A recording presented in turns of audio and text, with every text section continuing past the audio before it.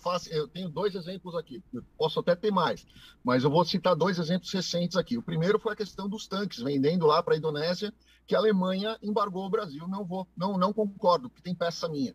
Isso pode acontecer. O Brasil é um péssimo produtor de tecnologia mundial, péssimo. A gente é um grande exportador de agro, mas a gente é um péssimo exportador de tecnologia e a gente depende de tecnologias de outros países em várias áreas. Esse é um grande problema brasileiro. Se você tem um embargo em uma única peça que é colocado em um único equipamento de exportação do Brasil e o país veta, acabou, a gente não exporta mais. Outra situação que a gente tem aí que, que, que pode bater muito forte no Brasil, Alcântara. Está construído há quantos anos lá, Alcântara? Nós estamos agora começando a, a, engajar a coisa, começamos a negociar com os Estados Unidos, começamos a negociar com a Alemanha, começamos a negociar com a Itália. Qualquer um deles pode simplesmente falar assim: ó, não, não tenho mais. Os Estados Unidos pode falar: não quer, você vai colocar Huawei dentro do Brasil, Huawei é, vai ter acesso à tecnologia, não tenho mais interesse. Os Estados Unidos está negociando uma área restrita de, de Alcântara, exclusivamente para ele, lacrada, blindada, porque não pode ter visualização, porque é tecnologia americana. Colocou uma Huawei dentro dos do, do, do Brasil, pode fechar um monte de portas, que para o Brasil é muito interessante ter essa tecnologia, não só para a gente aprender, mas para a gente replicar, construir e começar a exportar.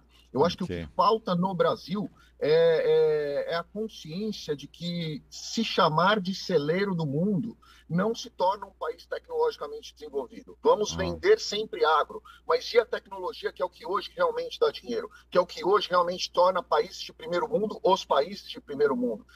Eu acho que as relações comerciais Brasil com o mundo, ela está muito aquém, muito aquém do que ela realmente poderia estar. Tá.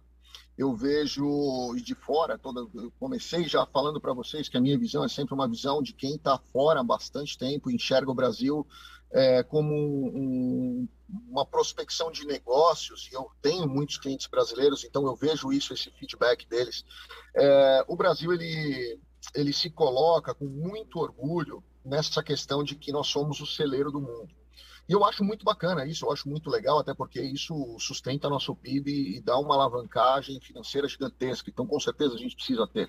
Mas nos próximos 10 anos, nós vamos ter, além de um problema de fome mundial, porque nós temos um, o, o, número de habitantes no mundo está crescendo absurdamente, nós chegamos a 8 bilhões de, de, de pessoas, e, e, obviamente essas pessoas vão precisar comer, e proporcionalmente nós temos também aumentado o problema de, de desnutrição e fome no mundo, então, é, a menos que haja um controle de natalidade aí, o que eu particularmente duvido que vai acontecer, mas é, nós vamos precisar também de um aumento de produção de alimentos para essas pessoas todas, com certeza absoluta. Mas nós vemos que o, o, a cerejinha do bolo para os próximos 10 anos é a questão de tecnologia. Tanto que você vê que o Brasil é um excelente exportador de pessoas que são formadas dentro da área de TI. Hoje, aqui nos Estados Unidos, nós recebemos inúmeros brasileiros, inúmeros, que são formados dentro da área de TI e vêm para os Estados Unidos trabalhar, ganhando salários altíssimos e com, recebendo convites de diversas multinacionais para que eles venham efetivamente trabalhar dentro dos Estados Unidos. Então, eu acho que o que falta no Brasil é aquela, aquela conscientização de que em 10 anos ser um, o, o grande produtor de, de alimentos do mundo não quer dizer tanto quanto você ser o grande produtor de tecnologia para o mundo, porque é o valor agregado da tecnologia vai ser muito maior. Não estou uhum. dizendo para deixarmos de produzir, pelo contrário, vamos produzir cada vez mais. Porém, nós precisamos investir também em tecnologia e ninguém vai vender tecnologia, ninguém vai ceder tecnologia, ninguém vai dar direito de tecnologia para o Brasil se o Brasil não escolher um lado e se afiliar com, com lealdade a esse lado.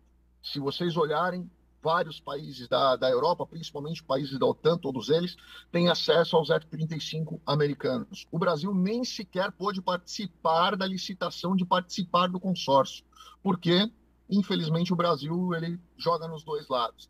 E isso seria uma tecnologia de caça de quinta geração que é um dos melhores do mundo.